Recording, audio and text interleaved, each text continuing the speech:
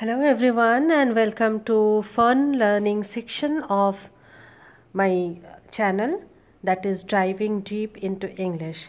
In this section I'll be delivering talks on interesting aspects of English language, interesting things about the language.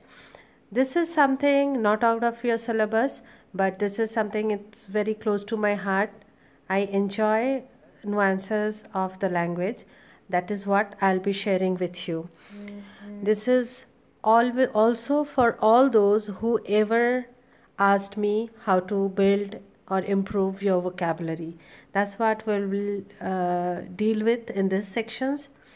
So let's begin. First section is about etymology and introduction. Etymology is the history of a linguistic form, say a word, shown by tracing its development since its earliest recorded occurrence in the language. Which means, for the first time when the word came into uh, use, from there to here till today, tracing its birth to journey so far. I promised you that uh, this will be fun class. So if this definition is a little confusing, let me simplify it. It is the linguistic science that investigates the origin of a word, its relationship with words in other language, and its historical development.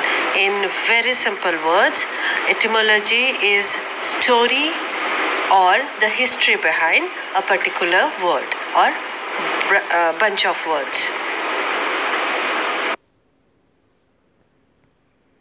So, considering present situation, I'll be taking up about pandemic or epidemic.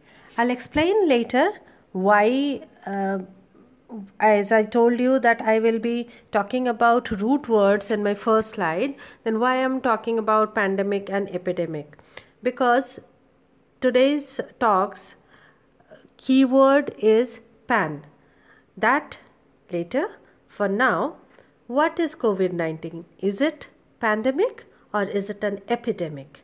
Demic word is a suffix which means characteristic of or pertaining to a people or population. In present scenario, ailment of.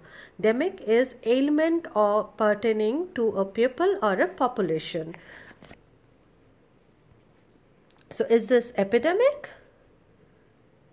An epidemic is a disease that affects a large number of people within a community, population or region. Sounds like COVID-19 should be an epidemic, right? No, let's see. What's a pandemic? Pandemic is an epidemic that has spread over a large area that is it's prevalent throughout an entire country, continent or the whole world. So, which one is correct? Pandemic. You got it? So, COVID-19 is a pandemic. Now, let's take a look at the root word pan. On pan is a Greek root word. It's uh, it has its origin in Greek, and I told you it means all. So here's pan meaning all. Archy. We know monarchy is uh, ruling by one person. So archy means rule, ruled by. What would panarchy mean? Yes, it means panarchy. It's universal rule. Asia is cure for a disease. Asia means cure for a disease. So what would panacea mean? Cure for all diseases? Did you say that? If you did, then you're absolutely correct. Panacea is cure for all diseases. Demic. We just discussed it. Demic means relating to people, like democracy is uh, ruled by people. So, demic is relating or pertaining to people. Pandemic is relating to all people, universal. Panorama, you must have heard uh, this word a lot.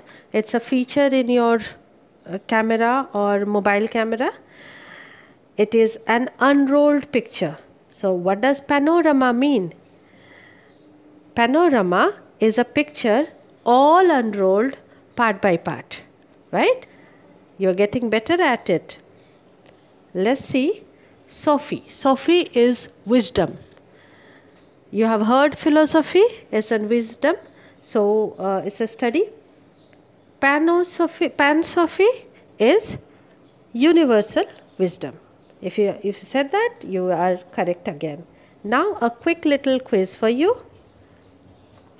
Theo means gods or relating to gods. Theon is dedicated to or for the gods. So, what would pantheon mean? Did you say for the gods? You have done a very good job. You're correct. It is a temple dedicated to all gods. If you have given correct answer, you deserve a prize as well. So here are pictures of Pantheon in Rome. The outside, from the outside, and the inside of the beautiful Pantheon. This structure is in Rome. So, thank you for listening to the first class. Have fun time until we meet next. Thank you.